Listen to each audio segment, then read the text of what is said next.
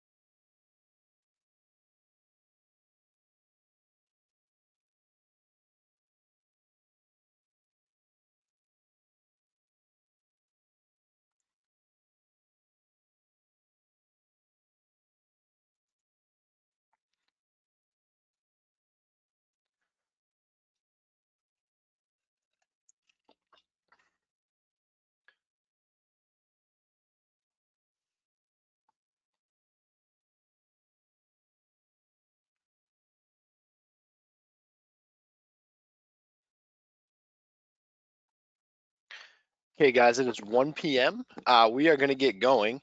Uh, just again, just to double check, can everybody just throw a hand up if you can hear me okay? I just want to make sure everybody can can hear my audio.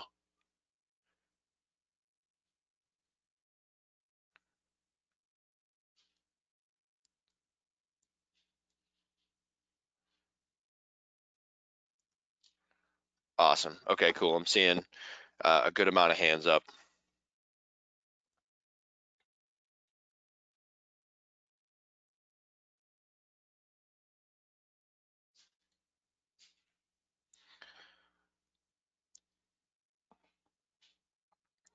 Okay, I'll give everybody one more minute.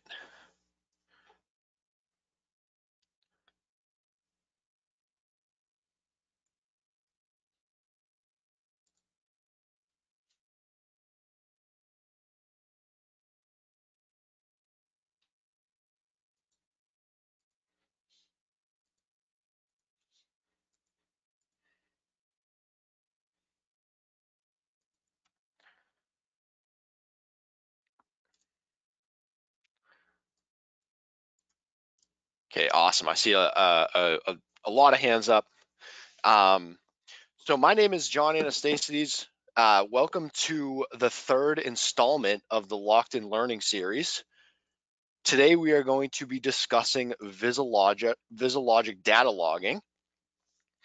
And what I'm going to do is I'm going to show you guys some methods and how we can interact with the software when we're troubleshooting and throughout the logging process.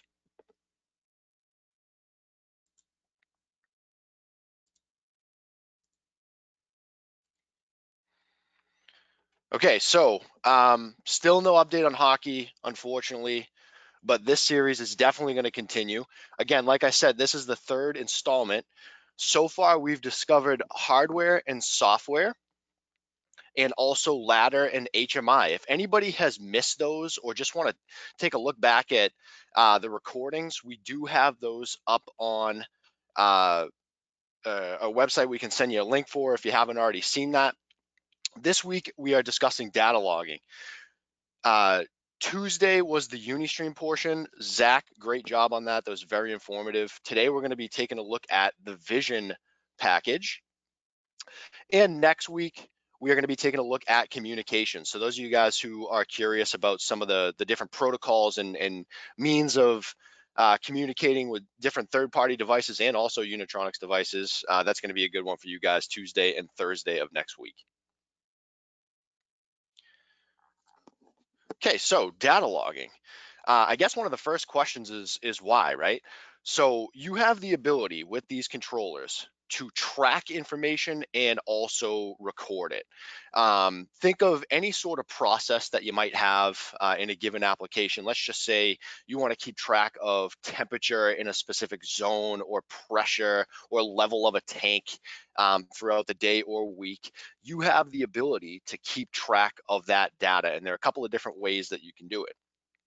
One of the uh, most, I guess, most rewarding uh, results that that data logging pr provides is the ability to go back and take a look at uh, a historical list of samples, right? So let's just say if you have uh, a zone where you think uh, the temperature might have exceeded a, a, a, maximum for a certain amount of time.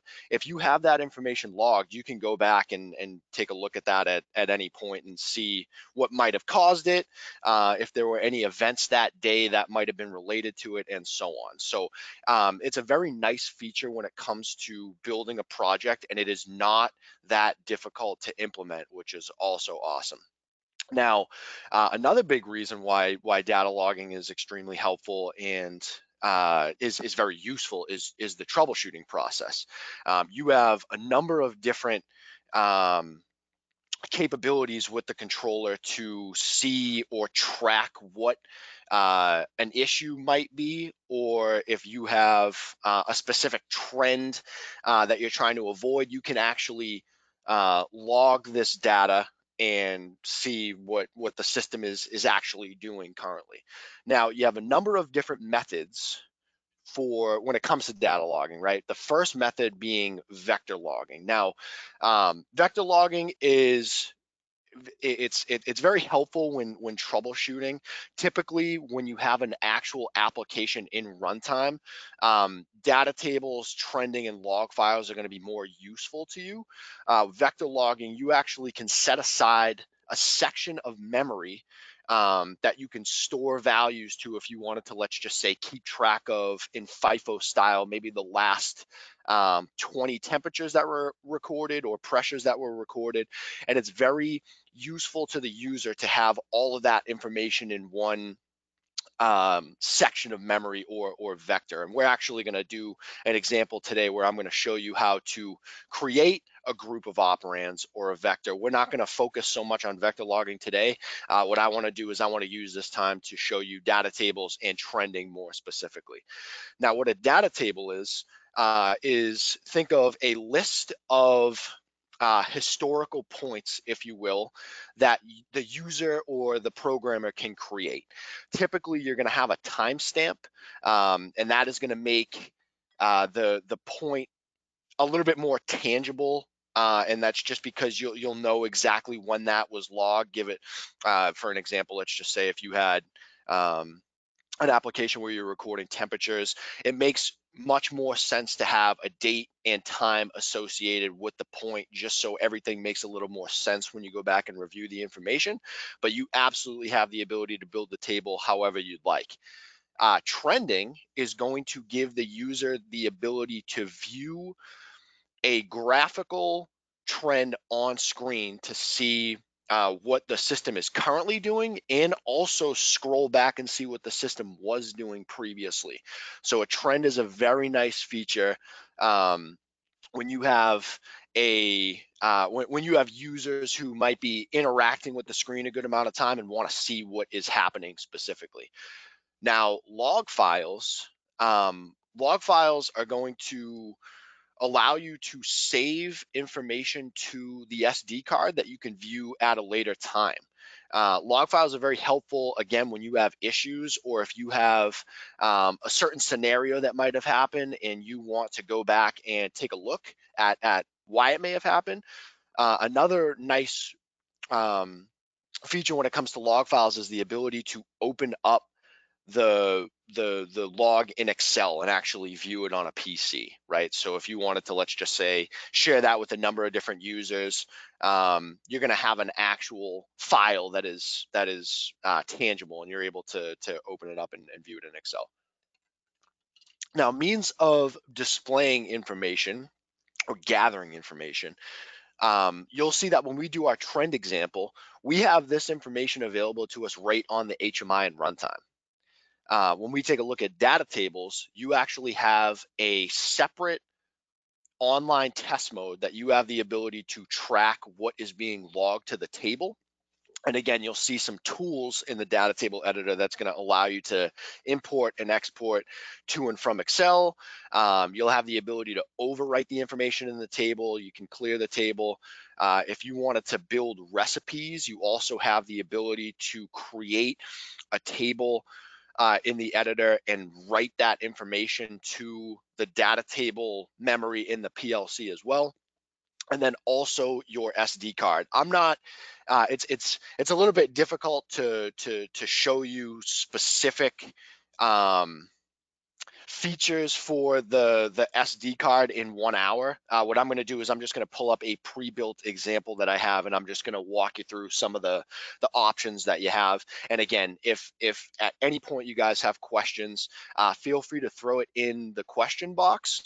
Uh, anything that I cannot either answer in this webinar or if you want to just take something more in depth, let's just say if you have questions about uh, creating uh, a specific Excel file for your project, feel free to shoot us an email. We'd be, we'd be happy to, to assist with that.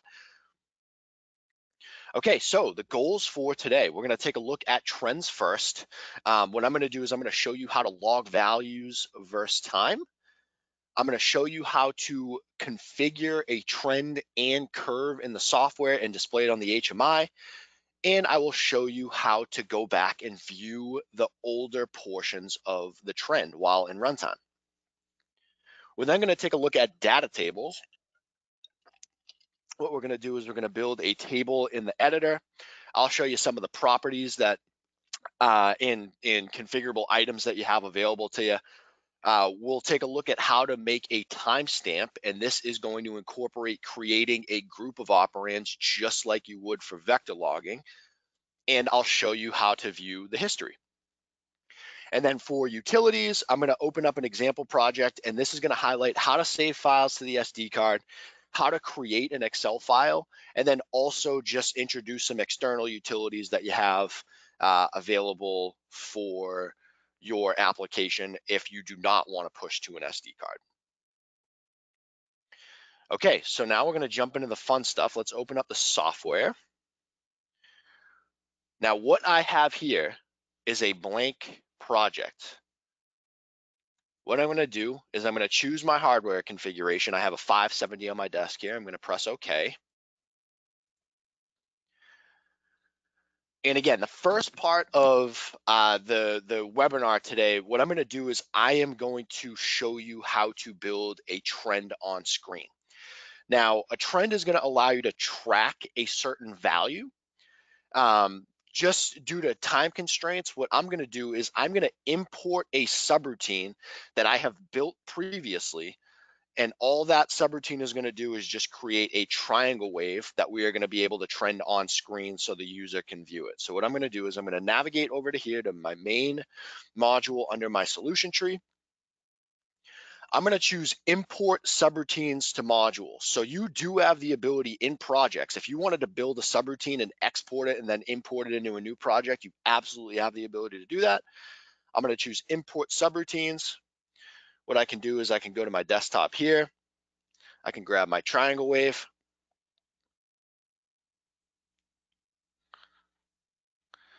And you'll see that what happens is it brings it right into the module that I had right clicked on. I only have one module right now and it imports it as a subroutine. Now, in our webinar series, I know that I've mentioned subroutines, but I don't think that we've actually gone through the process of creating one. Um, so what a subroutine is going to be is a separate portion of ladder logic outside of the main routine. Uh, and what subroutines do is, is in, especially in large projects, is they allow you to be able to almost tidy up the application. They're really used for um, organizational purposes in big projects, or if you want to only have a specific section of code run um, when the conditions are right, uh, those are when subroutines are typically used. Now, the trick with subroutines is you have to have a call from either the main routine or another running subroutine. Very important. So this logic will not get triggered unless I have a call in the main routine. Uh, before I make that call, what I want to do is I just want to run through what this is doing. Um, so what I have is a system bit that is creating a 100 millisecond pulse and what that is doing is either incrementing or decrementing based on if I have reached my limits. Now I am capping this triangle wave in between a value of zero and 100. So you'll see that when I reach 100, I'm counting down. And when I reach zero, I'm counting back up. So that is how I am generating this triangle wave. Uh, if you are um, or if you have any questions or just want to want to play around with this routine, feel free to to reach out after. Um, I'd be happy to send you this project or at least provide a link for it. Now, the subroutine itself, right? I have to make sure that I'm calling it from a running routine. Now, my main routine here uh, is the only other routine that I have. So what I'm going to do is I'm going to go to utilities, call. I'm going to get a call subroutine block. I'm going to place it right on the rail and I'm going to choose triangle wave. Now, the way that the controller is going to scan once I have a subroutine in the project is once it sees the subroutine call, and you'll see that I have it right here in net one. So it sees it in the first net, the scan sees the call, jumps into the triangle wave routine, processes the logic, jumps out, then moves on to net two and processes the rest of the main routine. Once it gets to the end, it goes back up to net one, sees triangle wave, jumps in, processes triangle wave, jumps back out again. So it's very important to keep in mind that this triangle wave, since it is directly on the rail, it is going to be called every single scan of the controller. If I didn't want that to be the case, or if I wanted to be able to toggle that call on and off, what I can do is I can put a condition before it, and that's gonna allow me to be able to control when the subroutine is, is called or not. Now, just to give you an idea, again, MI1 is my triangle wave value. So MI1 is going to be the value that I am going to have set for my curve on the screen. Now, to build a trend in the solution tree, you'll see that I have a number of trends available to me, right? I have eight trends with my V570. Now, each of these trends can have eight separate curves on them. So you have in total 64 curves available for this 570 project. In order to configure trend one, what I'm gonna do is I'm gonna right click and choose properties I'm going to change the name just to something generic like test trend. I then have the ability to create what I want to set as the sampling interval. That is going to be how frequently I update this trend. So I'm going to make this a one second update rate. My next parameter is the number of history samples. When we have the trend on screen, I'm going to have the ability to go back and take a look at a number of previous points. These are the number of samples that I'm going to be able to look at. So I'm going to go ahead and I'll just make this a generic number like 10,000. I then need a run stop memory bit. What this is going to do is activate the trend. So I need to have a bit here and in a normal application, you might have conditions where you don't always want the trend to be running. Let's just say if you want the user to be able to go up and just dictate when the trend is running or not. Um, I would have conditions throughout the project that would allow me to de determine if that bit is on or uh, on or off or not. Uh, what I'm going to do is I'm just going to add a memory bit here. This is going to be my run stop bit for trend and I am going to give this a power up value of set. So the second that the controller turns on, I already have my triangle wave routine running. So I'm going to trend that curve from the second that or the instance that the that the controller powers on. So I'm going to hit OK here. Now I also have the ability to link a trend description.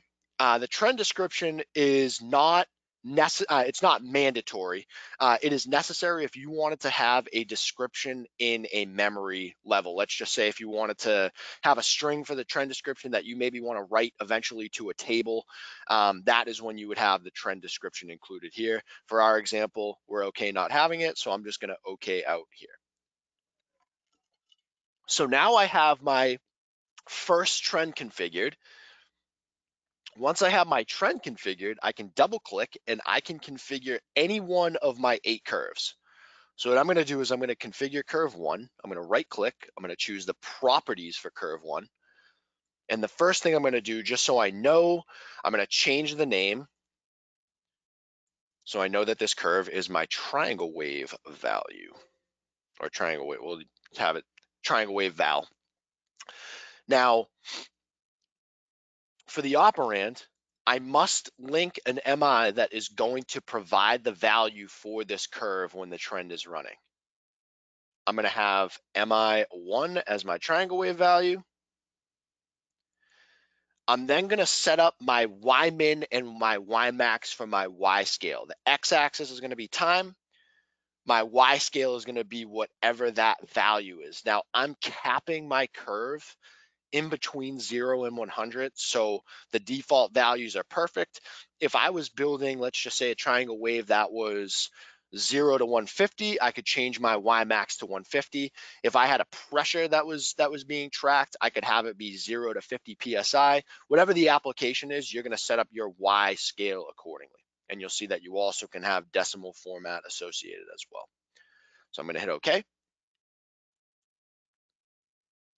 And now I have my trend properties configured. So what I'm going to do is I'm going to go to my display.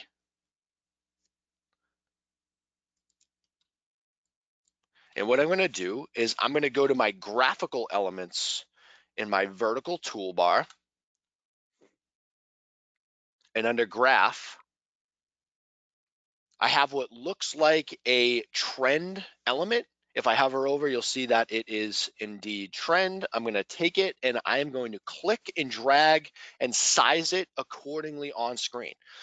Now, what I want you to do is I want you to be weary of what happens until I am at a an appropriate size. You'll see that I will not be able to create this trend or validly drop it on screen until I get to a certain size. You'll see that the minimum size is 200 by 140 pixels. And the reason why is you have a number of um, elements that are built into the actual trend widget that you need to account for when you are sizing, right? And I'll show you some of those, uh, what those buttons do once we have this project downloaded. Now we have already configured the curve property, right? We already know that that curve one is gonna be our triangle wave value, but we have a number of elements here that we have to uh, account for. The first one that we that we have to make sure that we link before the OK button is enabled is we have to configure here. You'll see a current curve link. So we need an MI. So MI zero. And what this is, is our current curve shown. And what I mean by that is since you can have eight curves on the trend, the user has the ability to just touch the trend element once the project is downloaded, the trend widget on screen, and it's gonna cycle through any curves that are currently configured. I only have one curve configured, so the value in MI0 is always going to be one. Let's just say if I have my triangle wave, a pressure, and a temperature, I now have three potential curves to bring to the front right? So as I cycle through those, that number is just the index number of the current curve that is shown. A lot of people think that this link here is the actual curve um, that is linked to the trend. Um, what it actually is is just what the current curve selected is or current cur curve shown is. Now you'll also see that I have some cosmetic properties, but the most important is the curves tab right? So I have the ability to change the color of the curve to whatever I'd like. If I had multiple curves, I could color code them specifically. And I also have the ability to tie a bit to hide the curve. So in a given trend, depending on how many curves you have, you're gonna see all those curves at the same time. If that is not uh, what is aesthetically pleasing for the project on hand, you have the ability to hide the curves depending on that hide bit, right? So the state of that bit determines if the actual curve is showing on the screen or not. So I can go ahead and hit OK. And I now have my triangle curve on the trend that is going to be shown on screen. So before I download this project, uh, I am going to jump in and set up a data table example, and then I'll do one download, and I'm going to show you guys how everything interacts once it's downloaded. At this point, if anybody has any trend questions, go ahead and type those in in the question box, and we'll get to them at the end. So now in order to create a data table in a project, I actually have a specific portion of the software called the data table editor under my view menu. You'll see view data tables. And this is gonna pull up an internal menu that is gonna allow me to configure my table.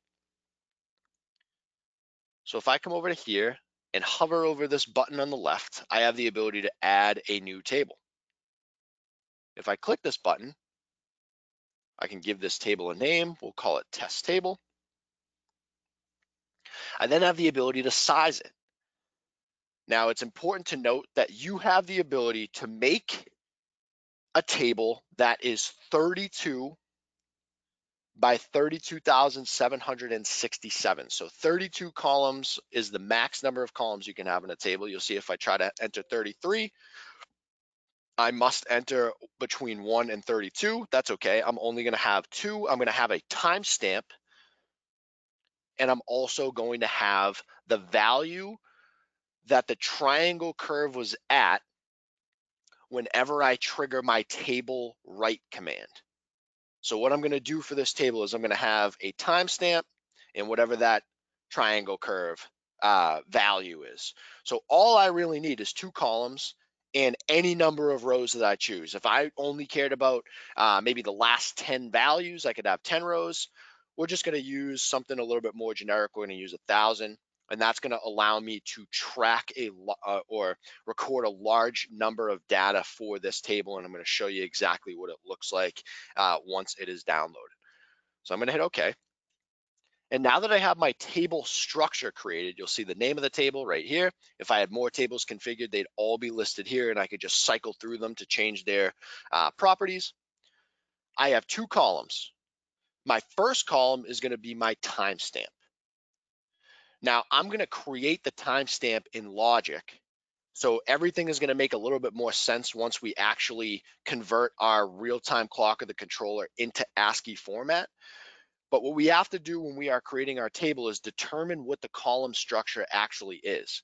So column zero, this is actually gonna be our timestamp. And I'm converting the real-time clock that is always running in the controller to a string type so that we can write the string to the table. So you'll see in my type, if I have, or if I click my drop-down menu here, I have string available. Now, part of project and read only. If I did not, if I do not want a user to overwrite this timestamp, right? Let's just say I wanted to make it not writable. What I can do is I can choose read only. And now I'm only going to be able to pull the information out of the table. So this is good for recipes. If I don't want any of my recipes to get changed, a read only checkbox um, would would be would make sense here, right? We actually want to write information to the table. So I'm going to uncheck this. What part of project does, you only have a certain amount of memory set aside for internal data tables unless you're writing externally um, to an SD card. And at that point, you have between four and 32 gigabytes of information. Part of project allows you to save on memory, but you'll see that it also blurs out the read-only option. So again, we don't care. We have plenty of memory. We want to absolutely be able to write this information to this table. The last thing we have to configure is the string length. Now I'm gonna show you how to determine what the string length is. I'm gonna leave it as the default of 10 because it is, it is okay, it's kosher for this example. So I'm gonna hit okay. And what we're gonna do next is we're gonna configure our column that is going to house our triangle wave value. So I'm gonna change this column name to triangle wave value. It is going to be an integer type. Now, when you have integer type selected, you'll see that you can set a min and a max, just like last week when we put an ele a numeric element on screen, we had the ability to cap it so that it could not have values outside of the range. Uh, we're only going to see values between 1 and 100. Um, so this doesn't really make too much sense uh, for us in this, but if you wanted to cap it, you absolutely have the ability to set the min and max. You can change the format view to either decimal or hexadecimal. We're going to leave it as decimal. And then I can select the number of elements that I'm going to write. If I was writing an array of numeric elements, what I can do is I can in increase this number to two, and you'll see that I have descriptions available depending on which one. I only have one triangle wave value, so I'm gonna leave the number of elements as one, and I'm gonna okay out. Okay, so now I have my my tape my test table configured, right? I have column one for my timestamp, column two for my triangle wave value, and you'll see if I scroll down here, I have all of my 1,000 rows, rows zero to 999. Now I have to save this table, so I'm gonna hit okay. And now what I'm gonna do is I'm going to build the logic that is going to allow me to write information to this data table. So again, you see the call for a triangle wave. If I am logging that triangle wave value along with a timestamp, I need a logical net to do this. So what I'll do is I'll add a comment for net2 just to let myself know if I go to open up this project in the future, what this net is doing. So if I insert a comment, in net two. Every one second, log triangle wave value with a timestamp to test table. Now it's important to note that commenting is very um, useful in a, especially in a large project or if you have very intricate code or an intricate process taking place when you download this logic if you were to upload it again all the comments are going to come with it. So it's very important to uh, make sure that in a big project especially if you might have multiple programmers looking at it at some point uh, comments go a very long way. What I'm going to do next is I'm going to build my logic that every one second will write my information to the test table. So what I can do is I can grab a positive transition contact. And if you guys remember from last week, there was a system bit that generates a one second pulse that I can use in place of a timer. So if I wanted to write my information to the table, let's just say every five seconds or every 10 seconds, I can build some sort of resetting, self-resetting timer that is going to uh, run on its own and log the information as it runs. Um, the the system bits allow you to almost bypass a timer and save it, especially in a big project. Using your system bits wisely uh, is very helpful. Um, you'll see that SB7 was the 100 millisecond pulse that I used in the triangle wave routine. I am going to take the positive transition of the one second pulse and use that to write my information to the table. So I'll hit OK. The next thing I'm going to do is I'm going to create my timestamp. So if you remember, I had a string length of 10. That's 10 characters that is going to be uh, viable for that column. Anything more than 10 characters is going to get truncated. So if I go to my string tools and I hover over RTC to ASCII, what this function block is going to do is take the real-time clock of the controller and it's going to convert it to a string type. Now let's just be sure that my time is correct for my controller. What I can do is I can go to connection. And if I go to communication and OS, I'm gonna first check connection to my PLC. I am connected over ethernet. Again, this to a lot of people might look like magic. We are going to go into ethernet way more in depth in communications next week. If you just trust me, my IP address of my PC is 10.2.2.30 and the IP address of my controller is 10.2.2.90. So they are on the same network. And my PLC name is 147.182.08. If I hit OK and get my OPLC information, you'll see that it gets returned. This tells me that I have a current connection to my controller. Now, if I wanna make sure that my RTC of the controller is correct, again, I can go into info mode and I can manually change it. Uh, unfortunately, I cannot show you info mode on remote access. So just to be sure that we are setting up our RTC accordingly, you'll see that this is my PC's RTC And if I click set RTC, it just takes the values from my PC. So now that I know my RTC is current, what I'm gonna do is I'm gonna go to strings, I'm gonna get an RTC to ASCII function block. I'm gonna place it right in series with this positive transition. So you see that since it is on the power rail, every one second, it's going to pulse this full net.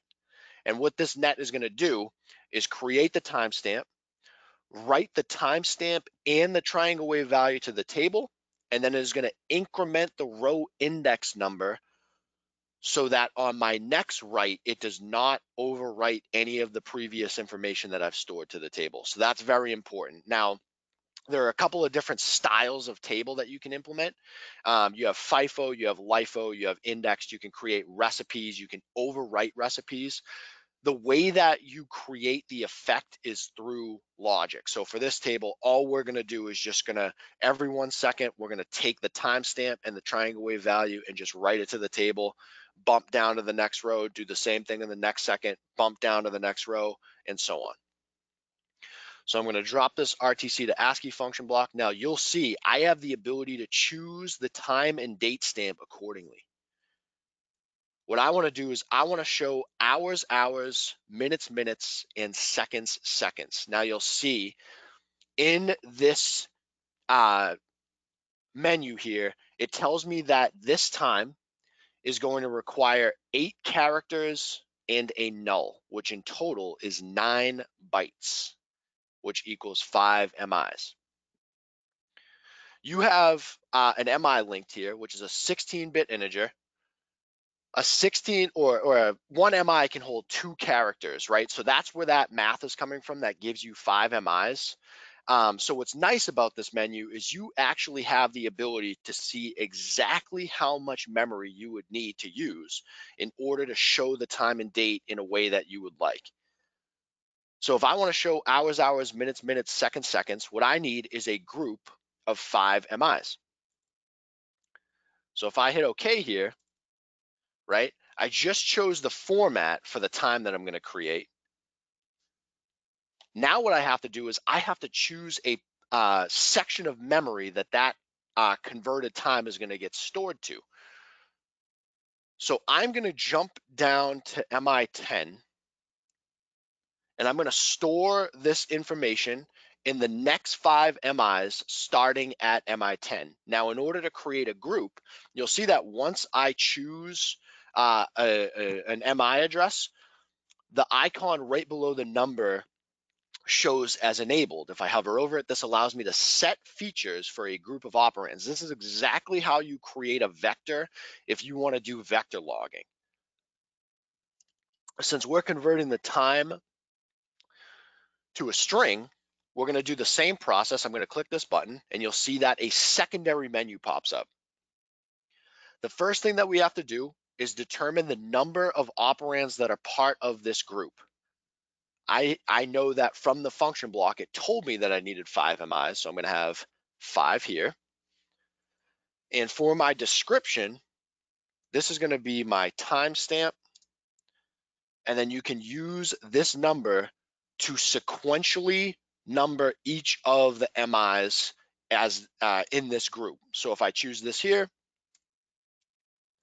and then do forward slash five. This is going to name MI10 timestamp one of five, MI11 two of five, and so on. And I'll show you exactly what that looks like in a second. But if I hit OK here,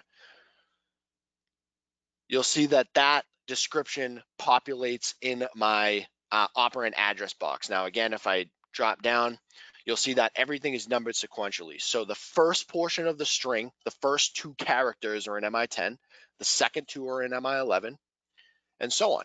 Now, when you're building a string, you have to allot room for the null character. The null character determines the end of the string. That is why it was eight total characters for um, the actual characters for the time, and then the null is the ninth. Now you have to bump up one more to account for the null. So that's why there's five MIs in use. Uh, I'm not going to spend too much time on strings. If anybody has any more in-depth questions, uh, feel free to throw it in the question box, or you can shoot us an email. I'd be happy to, to, to go over strings at any point. All right, so this is going to house my timestamp.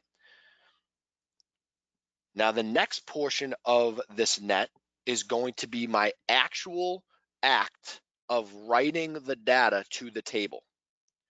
So what I want to do is every one second fill in a row of data for each of my columns, right? So my timestamp, my triangle wave value, I'm going to bump down to the next row, and on the next second, I'm going to write a timestamp and a triangle wave value, and so on.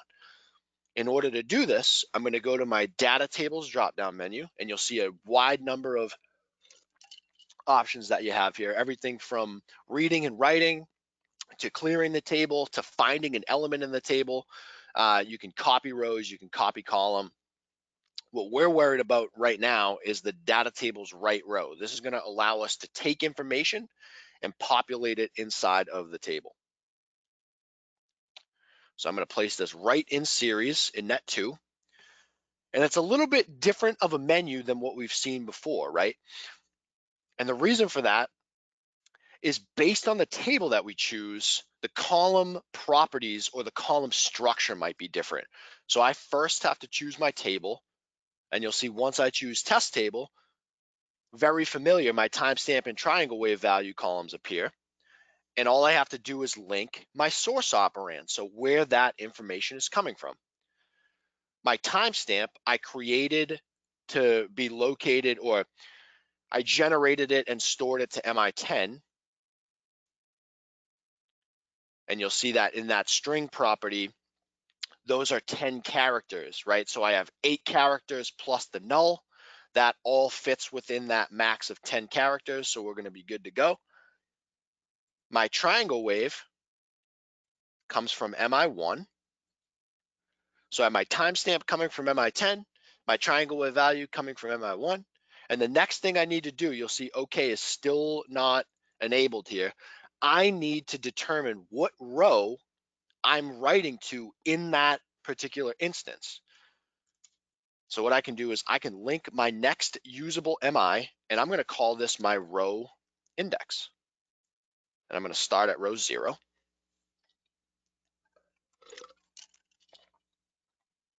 And I'm going to press OK. And you'll see that now MI2 is going to hold the row that I want to write to. By giving it a power up value of zero, the very first write on the very first second that that net is triggered, I'm going to start writing at row zero, which is the first row of our table. Now, what I need to do to ensure that I don't overwrite any information is I need to make sure I'm jumping down to the next row on my next write. So I'm going to press OK and I need something, some sort of logical statement that is going to increase uh, my row index number. I know a lot of you guys are yelling at me through your PC. We need to use an incrementer, and that's what we're going to do. And what I want to do is I want to increment that row index by one every time. So just to recap on what this net is doing, every time SB3, which is the internal bit that is generating a one second pulse for the controller. Every time that that goes high, right, positive transition. If I used a negative transition, it would be every time that that bit went low. I'm taking my RTC in the format hours, hours, minutes, minutes, seconds, seconds, and I'm storing it to a string type. And the reason why I'm storing it to a string is because you'll see that I have characters incorporated as well, right? I have my colons in between the hours and minutes and then minutes and seconds. So that has to be a string type. I'm then writing that information to my test table that I've already created. And then I'm incrementing the row. So on the next time that this net gets generated, I don't overwrite the information that I've already filled in the table, right? What I had, what I have the ability to do is I could just write that information to the same row of the table every time, but that really doesn't do us any good. What I want to do is I want to see a history of all these points. Okay, so now what I'm gonna do is I'm gonna download this project and I'm gonna show you guys what is happening at runtime. So if I go to connection, again, I'm just gonna double check my connection one more time. You'll see that my information populates. I do have connection and I'm gonna go ahead and download.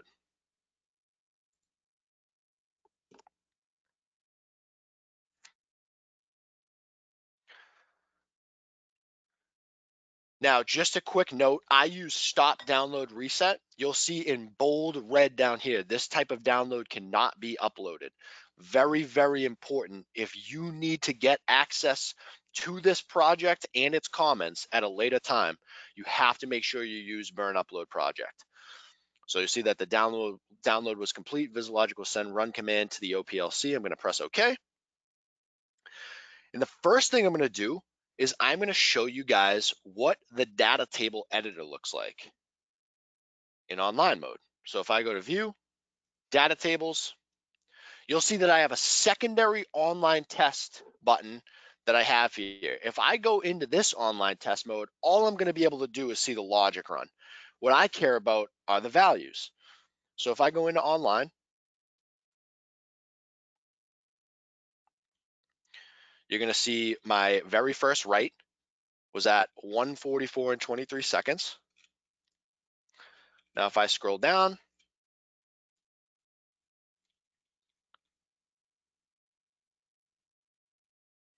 you'll see that it is overwriting the information that is already in the table previously. What I had done was I downloaded this project earlier uh, and I have all of the points logged to the table you'll see that because this is old information now and my row index number is changing, I'm overwriting information in the table. So it's very important to make sure that you account for what your data table write is doing, right? If this information from a previous download was important, um, then I would be losing it right now. But because we don't care about it, this is just an example.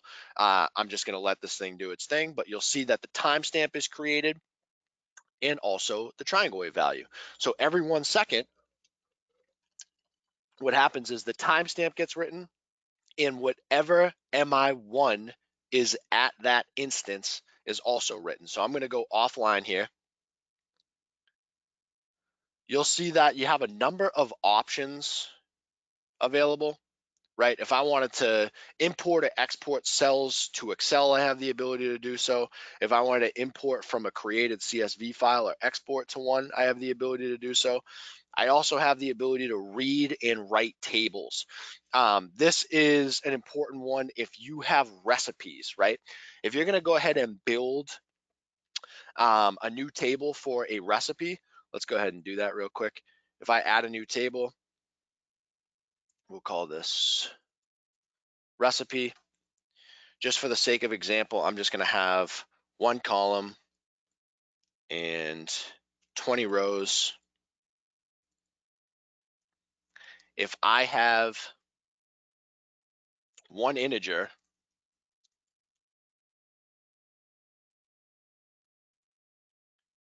if I download this to the controller, I'm actually going to abort that for a second. What I'm going to do is I'm going to change some values here. So let's just say I had a predetermined recipe. If I know that row one had one, row two ha had two, and so on. If I download this to the controller, it's very important to know that all of the logic that is part of the project is going to get downloaded. But if you have information in the table, you must make sure that you do that uh, right via that option that is in the data tables editor. And I'll show you what I mean in a second. So I'm just going to let this download.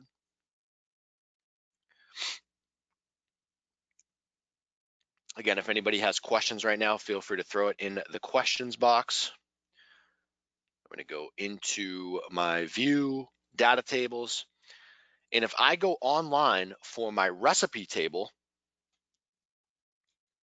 I have one, two, three. If I wanted to change this value to let's just say five in row seven, I can go ahead and write my table to the PLC.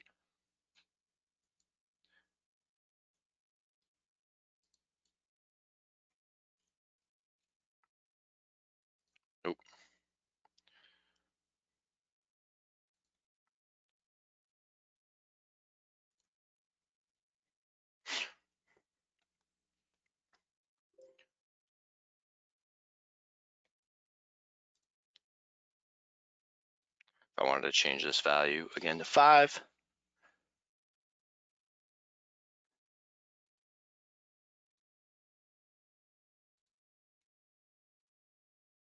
I now have five in it as well, where it would have had zero before. So if you wanted to create or edit recipes, you have this tool available to you as well. And then using online is going to tell you what is in the table at that current moment. So that is the gist of data tables. I'm going to hit OK. And what I'm going to do is I'm going to show you the trend on screen. So I can use the normal online mode now and I'll show you what that triangle wave logic is doing just so it makes a little bit more sense. You'll see that my value based on where it's at currently is either going to be counting down or up, right? So right now, my limit of zero had just been reached. So I'm on my way back up. You'll see that once I hit 100, my upper limit has been reached. So now I am counting back down. So that is what that triangle logic is doing. And again, the reason why it's running in a subroutine is because I'm calling it from the main routine. If I wanted to show you guys the trend on screen, what I can do is I can use remote access that is built into online test. I'll make this a little bit bigger so you guys can see it. It's a little bit too big. Perfect. All right, so you'll see that I have my triangle wave value. Uh, on screen, I think that this is just uh, something that is a little bit wacky with remote access when you use online test mode. This is actually in the middle of the trend on screen. But this is my triangle wave value. You'll see that it's the color that we selected. I can toggle a grid on and off, right? So if I was just curious um, how it looked with a grid, I can turn this on and off with the button that is labeled G. If I wanted to view what some of the previous points were, I have the ability to choose this mode button, and this allows me to go from run mode to history mode. So you'll see that this trend has been running for a little bit. I can actually scroll back and I can see what was happening previous previously according to the time. So you'll see that as I scroll, the time updates as well. And if I wanted to go back to run mode, I have the ability to do so. Okay, so those are trends and data tables. Um, what I want to do here now is I want to jump into an example that is going to highlight some SD operation. What I'm going to do is I'm going to save this project so I can send it to you guys. We're going to call this trend and table. And uh, anybody can do this at any point. All of these projects are built into the software, the ones that you're about to see. If you go to the help dropdown and choose examples, if you go into version 900, project examples, navigate down to SD, you do have a V570 SD full demo. And those are all pre-built projects. Now you can, you have the ability to open up those excuse me, you can open those projects up and use them as learning tools. You even can either export routines or just use them as like a skeleton to build your project. So if you know that you have some sort of SD functionality, uh, you could start your project off with this example project. But I just want to poke through and show you a couple of things. Uh, you saw that we had an SD, I'm sorry, you saw that we created a data table that we were using data table memory for if I wanted to build a log that I actually wanted to export to or save to an SD card that I could then either send to customers or just pull it off and view it as history or save it uh, in an archive on my PC, for example, I have the ability to use this SD utility, DT for data table to SD. All of these function blocks are going to come from this SD drop-down menu.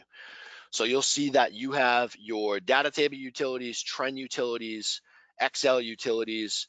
You have an SD safe to remove function block. You also have a clone function block, right? Uh, the SD password, very important to make sure that this is part of a project. When you know that you have data that might need to be accessed.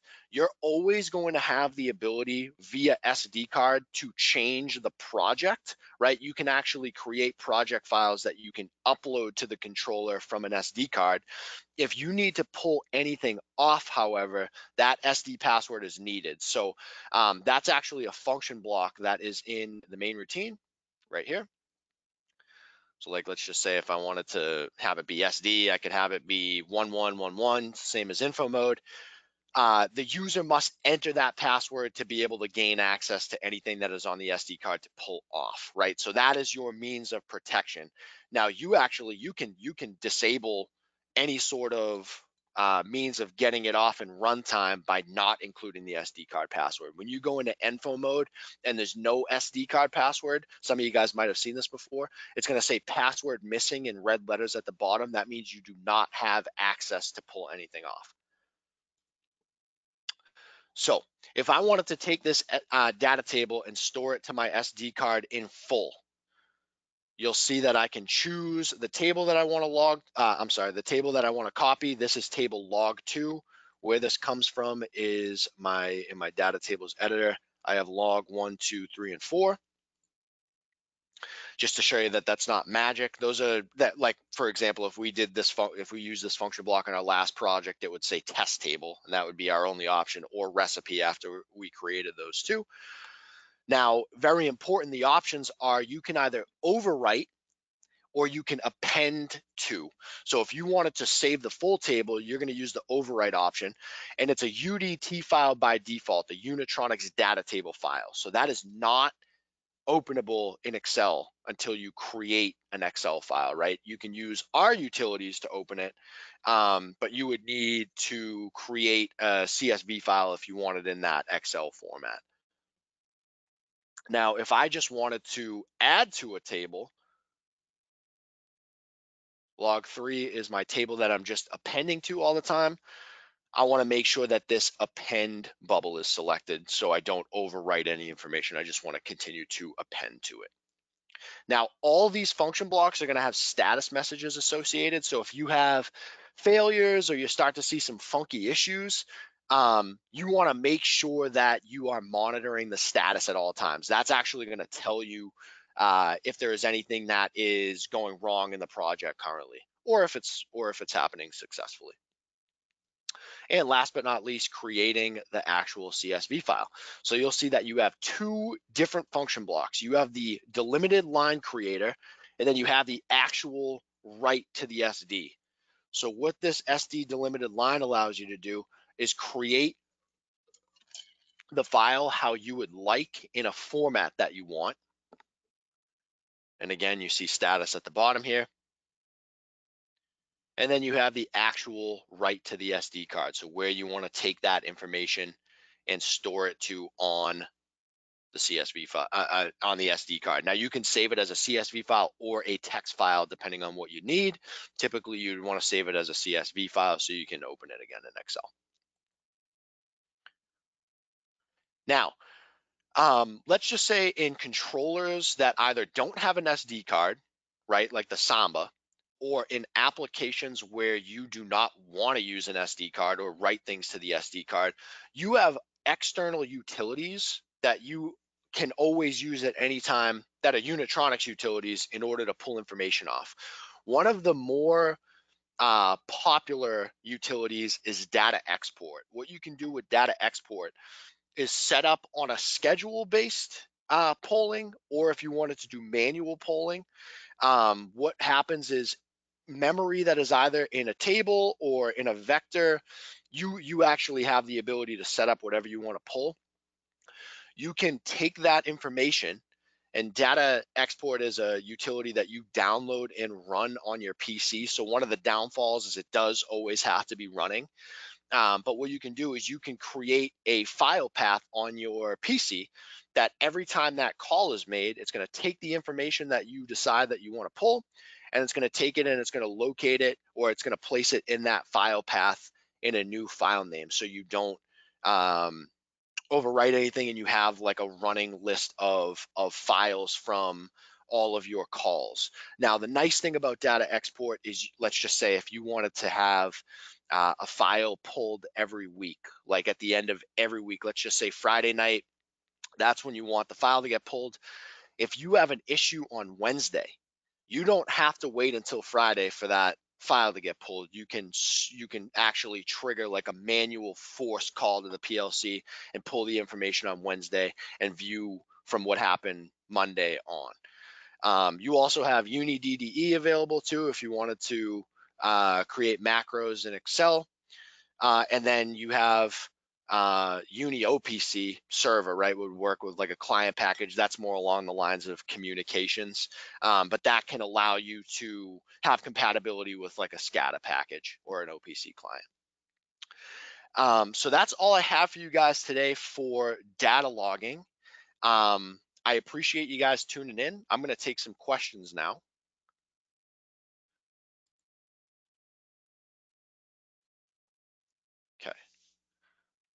So first one, um, if you missed any webinars, uh, make sure that you either shoot us an email uh, or the page that you go in and register. Those are going to have the previous recordings available. Um, if you do not see a demo project that we've done in the webinar itself, shoot us an email, and Zach or I would be happy to to send you the the project that we that we had done in the in the um, in the webinar itself. Uh, will the slides be available to download? The slides are not necessarily going to be available, but if you would like to see them at any point, I'd be happy to send you any of the projects. Um, but again, you're going to have the ability to go into the recording and just watch the beginning and, and you'll see all of the, the, the slideshow presentation material.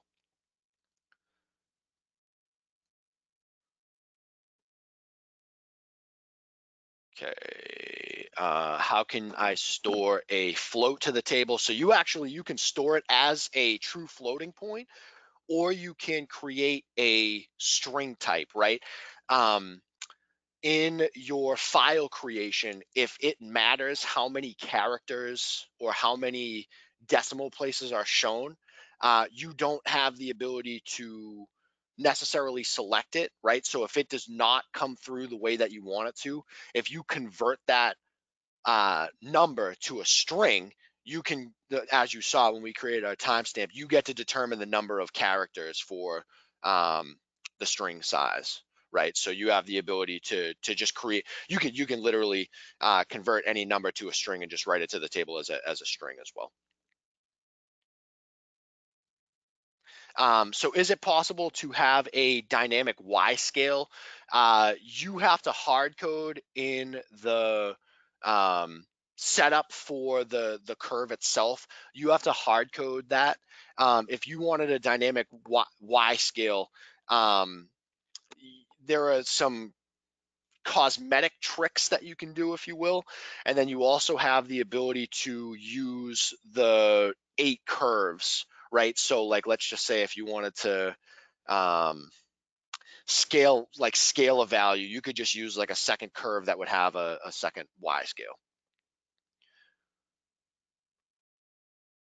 Can I select a different parameter in the same trend? Yeah, so uh, I think that question is um, a different memory operand. If, if it's not, just type in another question. Um, you have, again, eight curves, right? So you can have essentially eight parameters per, per trend that you can cycle through.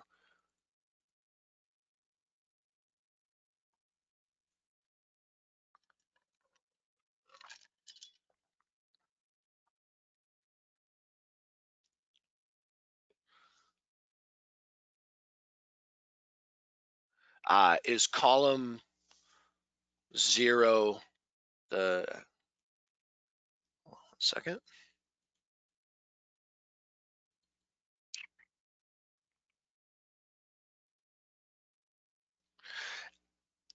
Um,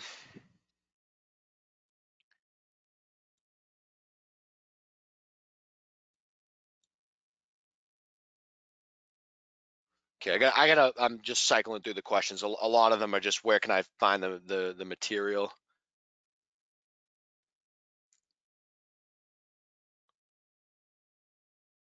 Okay, one, one of the questions is, is how do I trigger physical relays uh, and turn them on and off. You actually do that with ladder, right? So you have you have sets and resets that you can actually tie to a physical output, um, and that's what's going to allow you to to turn those on and off. Now, the nice thing about relays is you have an audible click that you should be able to hear, right? So you should know uh, if it's if it's clicking or not.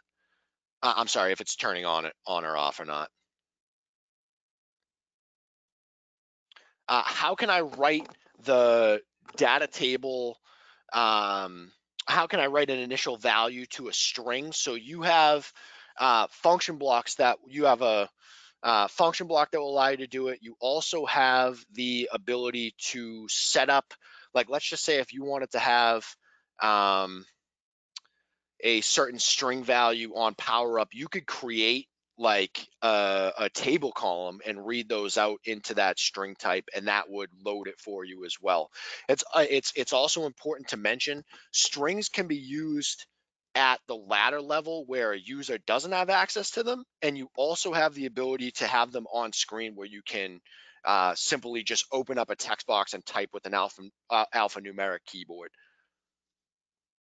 uh, I cannot find SD card suite. Can you share a link for it? So SD card suite is going to be available when you go to the website. Uh, I'll come up here right now. Uh, if you go to software and go to VisiLogic, all of those utilities are going to be down at the bottom here. So when you go to download software utilities, that's where you're going to find DataXport, uh, SD card suite, OPC server, and UniDDE, and so on.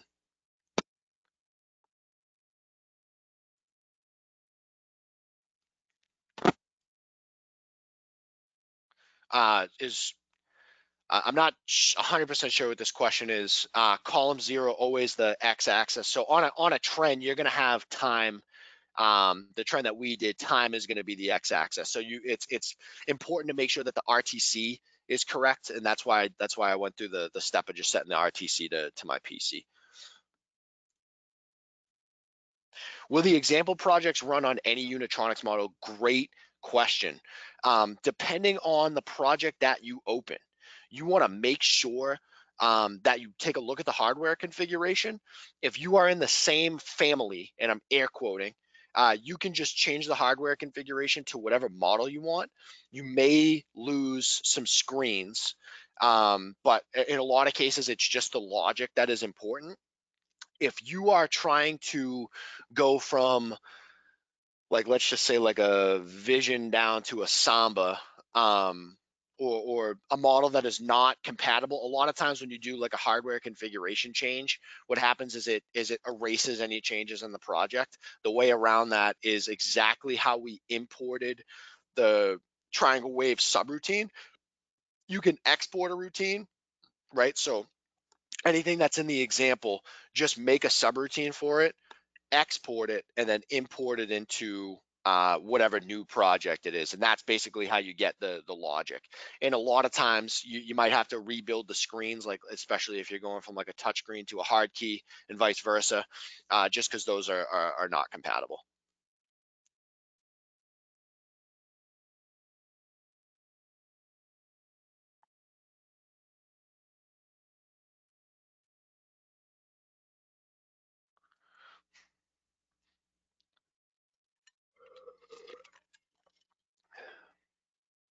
Uh, can you do a session on web server? So we're going to touch on web server or at least the means of accessing a web server uh, next week.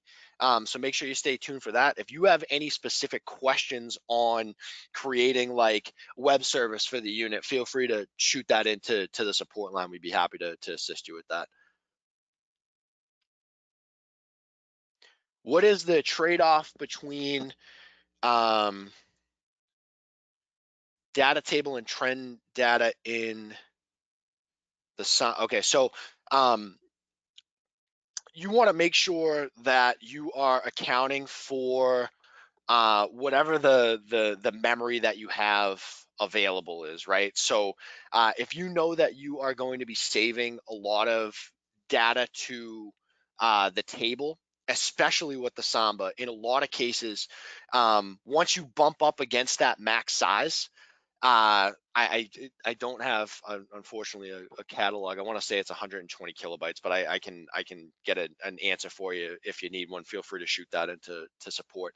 Um, you want to make sure that you have some means of getting the information off. And, and a lot of times in Samba applications, DataXport is a great tool because you can literally just pull information right from the table and have it in a PC viewable file. Um, so that's typically uh, how you would want to go about that with the with the Samba.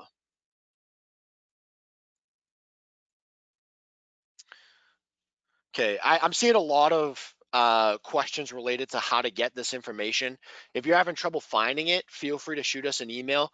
Um, in the the the link here where you have the ability to actually sign up for the webinars, if you go up to the top um, you're actually going to have the previously recorded webinars. Uh, if you are having trouble getting the project, shoot us an email we'd be happy to, to send it over to you. If Zachary, um, if it's a UniStream or, or Vision, Zachary will will send you the project that we did.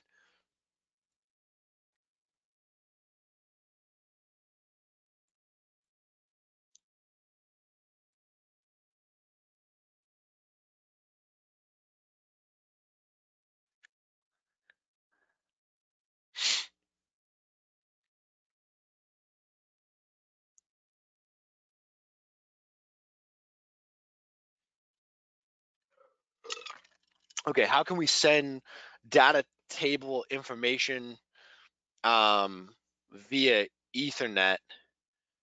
Um, so it, it's a lot easier to to do that in the in the UniStream series, right? You have a lot of um, industry 4.0 protocols like uh, MQTT, SQL, FTP.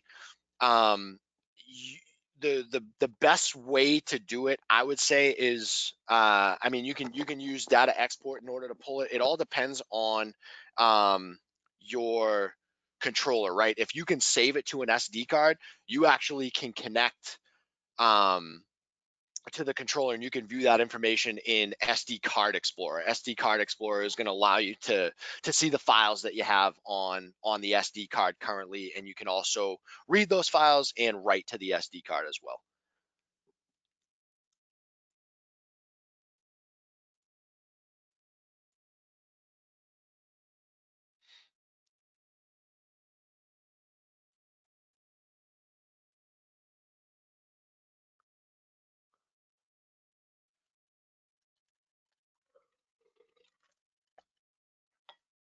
Okay, some of the technical literature says that any size SD card can be used. Okay, uh, that so so that's a great point. I actually I, I appreciate you saying that. I wanted to go back and and kind of harp on this a little bit.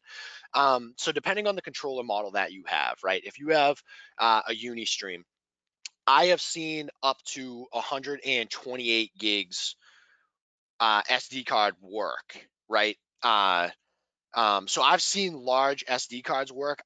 I have a hard time saying that we support those because I've also seen 128 gig SD cards not work and also 64 um, gigs not work, right? So uh, for the Vision series specifically, you want to make sure that you are not too small. You want it to be at least four gigs, and the max recommended slash supported size is 32 gigs.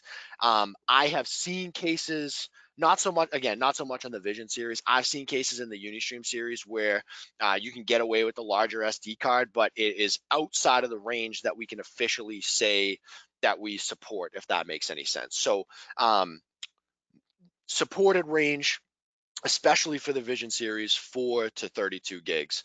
Um, now, just to just to touch on the uh, UniStream series uh, uh, again, if you are doing um, an update over uh, like remote, like over Ethernet or serially, and you're sending those files to a target drive, um, make sure you're at least four gigs. I typically tend to recommend at least eight gigs.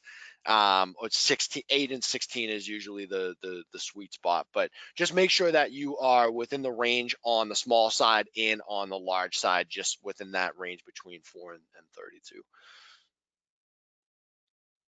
Okay. Um, Yeah, so basic information on on the web server function. We can we can definitely look at that in the in the communication uh, portion of the of the webinar series. So we'll take a look at that next week. Is there any information available on communicating with a cell phone? Yes. Yeah, so uh, again, this is going to be more so along the lines of communication, but you do have SMS functionality available once you have um, the 3G kit uh, connected physically over the serial port. So you have the ability to send messages to a phone and you also can reply to a message back to the controller. So let's just say if you have like a uh, temperature, high temperature warning or something like that go off, um, and get sent out to the user, you could set up the project so that if the user sends back a certain message, let's just say change temp to 50, you can actually write that 50 to memory in the project.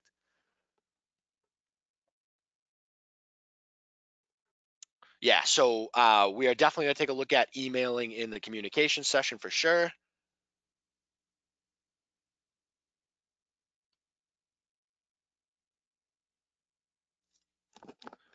Uh, the most typical examples of data table usage. Um, so that's a that's a really good question, right? So uh, you can use the table for however you would like in a given project. Now, if you want to create a FIFO effect, I typically see FIFO effect used the most in the in the in the Vision series. Um, one thing that Zach had uh, had detailed in in his uh, example pro, or in his demo project, right? You have you have UAC or touched on in in the UniStream series. You have uh, UAC available in the Vision series. Any sort of like user access control, like if you wanted to create access levels with passwords and stuff like that, you can use data table tools to do that. So if you wanted to create users and a password, store them to a table, um, add users, delete users and stuff like that, you can use those data table tools in order to do that. That's another um, not I wouldn't say typical, but rather popular usage for for a table. Uh, and if you wanted to see like an example of that, you can feel free to email us. I, I can I can get I have an example of that that I could that I could send you. Okay. Um, so last one that I see so that I see here, do, do you support 4G and 5G? 3G is obsolete in some areas. Again, we're gonna uh, nail this down next week. Um, we only have a serial 3G kit that we quote unquote support, right? You can use any Ethernet third party Ethernet modem um, just because at that point it is Ethernet connectivity and not um, trying to connect via serially. So if you have a third-party Ethernet modem, you absolutely have the ability to um, to use one of those modems if if, if they're available. Uh, the one thing right now with the Vision series specifically that you would lose is SMS capability. I don't have a timeline for if that is going to be possible or what, but um, in a in a 3G in a in a Vision series application where SMS is needed, 3G, the 3G modem kit is what would allow you to send and receive text messages. The only thing with that is um, I think there are published dates at this point where you're, you're just not going to have that capability uh, past a certain point. Okay. Um,